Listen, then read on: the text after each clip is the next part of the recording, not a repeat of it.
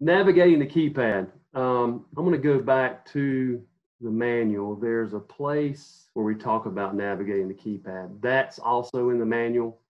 The different uh, the different letters, what the letters mean, what what cat product category or, or group the parameters listed in, and then how to move maneuver through the keypad. So real quick, I'm going to switch to my drive.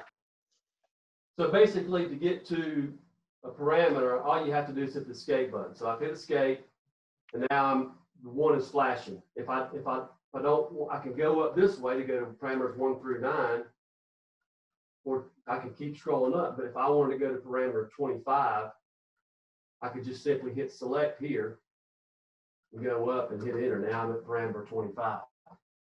Furthermore, if I want to get back and I want to highlight the, the B and move it, I just hit escape again.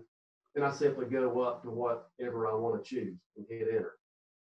So This is easy as that. is going through the uh, keypad. Like I say, I'm not going to spend a whole lot of time on it, but I thought I'd, I'd, I'd at least show you how to to maneuver around and, and uh, get inside of it.